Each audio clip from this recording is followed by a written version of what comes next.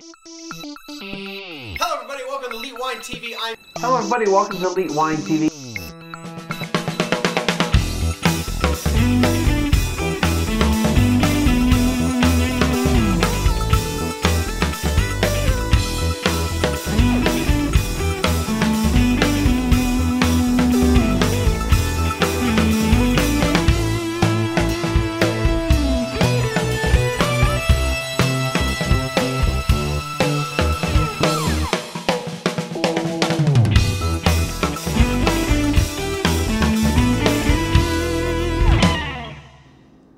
Everybody. Welcome to Elite Wine TV. I'm your host, Mark Fusco, here for another episode of the show, and we're just moving on, moving along here. I- know for you guys it's been a few days, but for me it's only been a few minutes. All right, so um, what are we hopping into um, right now? So this is the Norton, oh sorry, Bodega Norton Barrel Select Cabernet Sauvignon 2010 from Mendoza, Argentina. A little close up on that. Um, purchased this at HEB again uh, for two, two, two, 1078. I'm sorry, 1198. No, it regularly sells for 1198. I bought it for 1078, and um, uh, you know, again, it was a, it was a random pick. Uh, this is one of those wines I was like, I, I did the random number generator, and it popped up whatever number it was, and I figured out it was about where it was on the on the shelf, and grabbed it. And when I did this, it was kind of funny because. Um, you know, I used to work in retail, especially specifically uh, grocery retail, and um, not for a store, but for a vendor. And uh, so product placement and all that. And I I don't always notice product placement, but um, it was funny because I'm doing these wines, and in this in this part of the aisle, every wine had two facings, no more, no less. Every wine there was two two of these bottles right next to each other. Then it was the next label. So it was, it was kind of interesting. I I never had paid attention to that. But then again, other wine shops and other HEBs may have you know three of one, you know three rows of one or one of one. Um, but in that particular HEB, it was two of every bottle. Okay, so um, let's talk about this particular wine real quick. Um, so this was founded by a gentleman named Edwin Edmund James Palmer Norton. He was an English engineer, and in 1895 he bought the estate and land in Perdriel Lujan de Cuyo. All right, and he planted vines, created a winery soon after. Um, it was the first winery in Argentina south of the Mendoza River. Then in 1989, an Austri- Austrian businessman named Jerno Langes Savarsk, Savor, S- Swarovski. Swarovski. Ovsky. Anyway, of the famed crystal making family. Yeah, you can tell I don't really buy their crystal very much. So all of you people who know that one are like, oh yeah, it's real easy to pronounce that name. Uh, anyway, uh, he acquired the winery, convinced of the high potential of Argentina. I got this directly from the website. Uh, it's 100% Cabernet Sauvignon, and like I said, it's from the Lujan de Cuyo, Mendoza, Argentina. And uh, I, I was really interested in getting this because it is a cab, and I don't drink a lot of South American cabs. Um, I did have one as a blind recently and completely missed it. So um, this is really good because when I, it, you know, to advance in my studies, I'm going to be exposed to something like this, or potentially could be exposed to this. I think I would be, maybe not in the advanced, but maybe in the master level I could. So I need some more experience with this. Sorry, I, I actually kind of like the nose here, so I was really just kind of going long on it.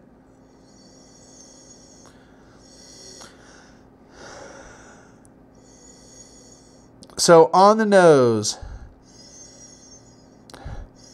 I honestly get kind of a really ripe plum on it. Um, you know, it's kind of hard with these lights to, to, to, to have the same type of lighting for, for the, um, for uh, the color, but it actually kind of looks a little cloudy. And it could just be how the these lights are hitting this. Um, but it does look a little cloudy.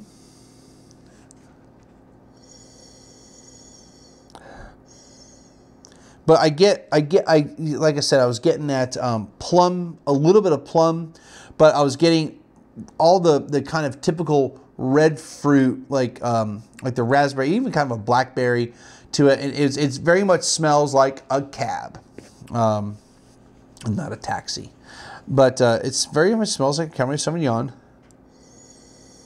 On the smell alone, I would not I would not even think this was Argentina or South America or anything outside of the United States. So on the nose, it is very much a United States smelling wine. You know, a little bit of a little bit of vanilla to it from the oak. A little bit of wood to it. No floral, so um, you know, not a bad nose, pretty decent.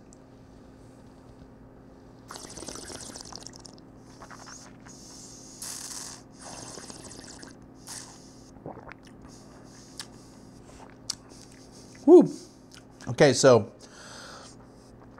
it kind of hit you really quick on the tannins on the gums, and then it kind of it kind of disappeared. And then it really hit me in the tongue on tannins, and you know, um, it's not it's not sweet by any means, but it's definitely a fruit forward wine.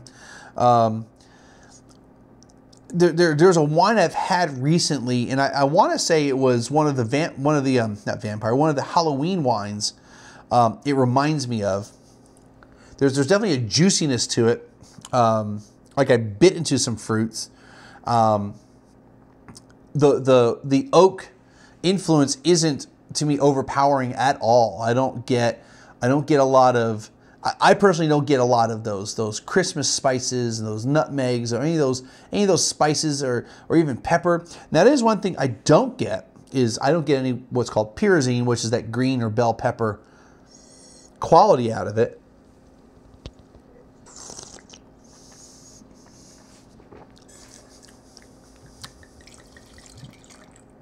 Maybe a touch, but it's nothing. It's nothing like really, really obvious. And it could be now that I'm looking for it that I might. I'm, I'm thinking I might have it, but no, I don't really get any of that pyrazine in it.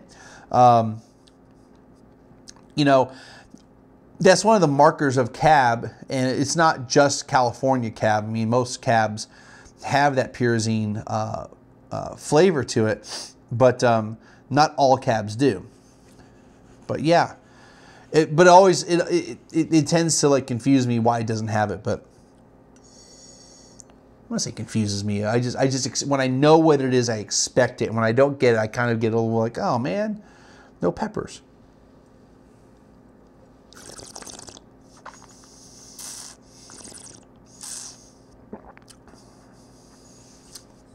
You know, it's pretty decent. Um, let's see if there's anything here about about the winery that I didn't get from the website because it had nothing.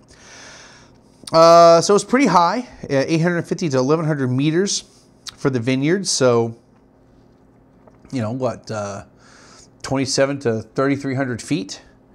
And uh, we handpick grapes from vines over 15 years old. 50% of the wine is aged in 12 months in French oak barrels and then additionally in bottles before release. A balance between grape and oak. Hmm, okay. Firm structure, rich flavor, delicate finish. Yeah, it doesn't really have much on here. But anyway, um, you know, it, it's pretty decent. Um, even though it's aged for a year in oak, um, it doesn't have like an overpowering oak quality to it. Um, tannins, I would say, are medium. Acids, probably medium, almost medium plus. So you get a lot of, you know, kind of watering in the mouth. You know, it, tastes like some other California Chardonnays to us. So I don't see anything that's distinctive to make me think if this was a blind tasting, there's nothing to say, oh yeah, this is an Argentinian Cabernet Sauvignon. Um, or maybe the California cabs I had tasted like an Argentinian Cabernet Sauvignon.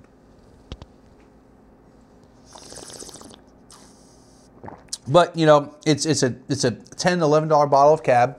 It's pretty decent for the price.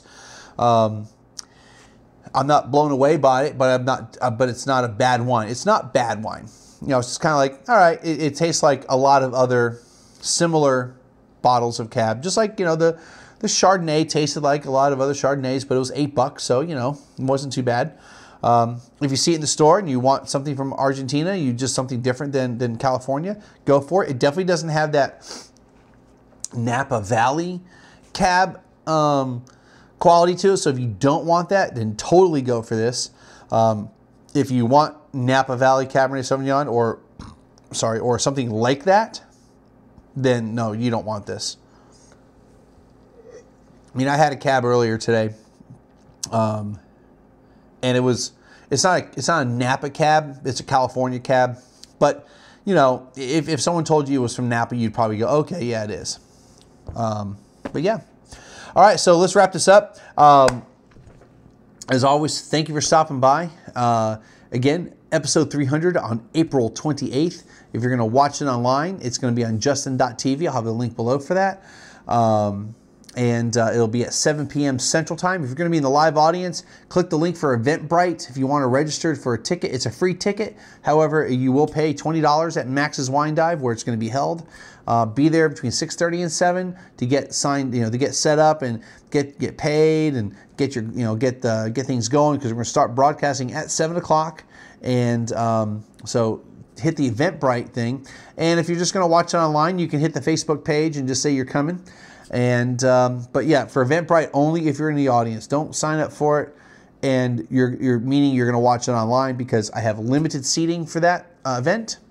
And uh, friend me up above. Uh, click the links below about the wine and everything else, and uh, throw a, throw a ducat or two since uh, I'm not making any money off the event. Uh, Max's is, which is fine. And um, let's see what else. That's going to do it. We'll see everyone again next time.